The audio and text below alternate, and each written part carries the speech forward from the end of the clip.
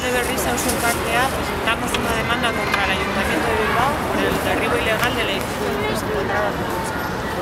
Recalde Berrisa Uso Cartea nació para mejorar la calidad de vida de los y las recaldetarras.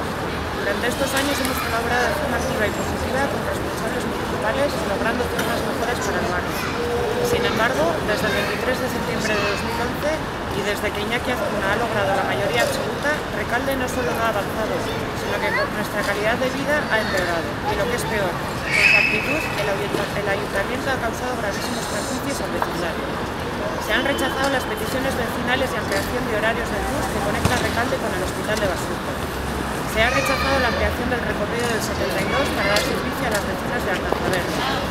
Se ha negado la concesión de locales para que más de un centenar de visitantes a los encuentros de malabaristas pudieran alojarse y participar.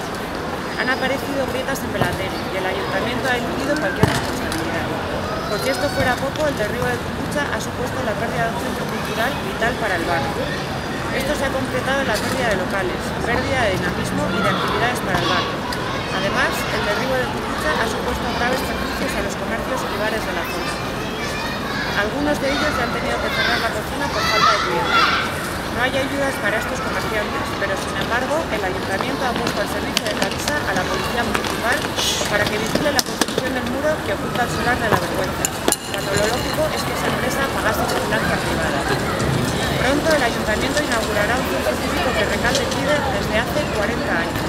Nosotras siempre hemos pensado que la persistencia de un centro cívico municipal y Cucucha Gastechea era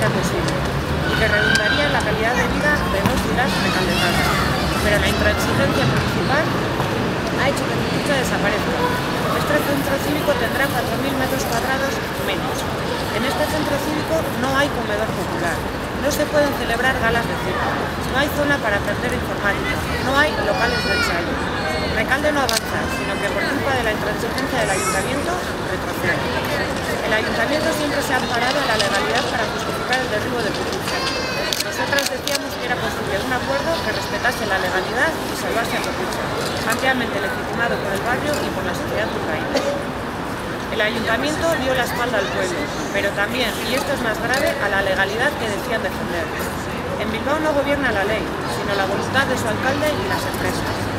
Nadie vigiló el cumplimiento del proyecto de derribo que obligaba a colocar un andamio y demoler planta a planta. Tenían prisa por acabar con Cucucha para evitar que las ciudadanas lo salvásemos. Y por eso, por las prisas para derribarlo, han provocado grietas en los pisos de Belateri. Las prisas que tenían por derribar Cucucha para evitar un tsunami solidario que lo salvase, también han hecho que el ayuntamiento concediera de forma irregular la licencia de derribo. Como ya denunciamos ante los juzgados el 21 de septiembre, logrando la paralización de la licencia de derribo durante 24 horas, el ayuntamiento además ha incumplido su propia normativa al conceder licencia para demoler un edificio incluido en una unidad de ejecución pendiente de gestionar. En una unidad de ejecución, los propietarios tienen que cumplir una serie de obligaciones con la ciudadanía, lo que se materializa en la previa aprobación de un proyecto de reparcelación a fin de ceder los suelos para zonas verdes de los equipamientos, costear la urbanización pendiente y ceder al ayuntamiento parte de la edificabilidad privada que tienen para hacer pisos. Se trata de edificios en los que los derechos del propietario no están consolidados hasta que no cumplan con sus obligaciones. Mientras tanto, no se pueden derribar como si hizo recaudo. Concretamente, en el caso de los propietarios debían ceder parte de los terrenos, que son del barrio, al ayuntamiento, para ejecutar una zona verde, pagar la urbanización, la descontaminación del suelo y ceder parte de sus, de sus derechos para hacer pisos. La cesión de esos derechos, según la normativa, se debe realizar siempre antes de cualquier tipo de modificación en el solar. La normativa es clara y no deja lugar a dudas. Esta cesión de derechos públicos, en este caso la cesión del suelo, que es de los y las vecinas, y los pagos económicos de urbanización y entrega de parte de los pisos privados, es un proceso relativamente largo, que el ayuntamiento evitó simplemente porque este proceso implicaba el el periodo de licencia. Si hubieran cumplido la legalidad, Cucha habría ganado tiempo y se podría haber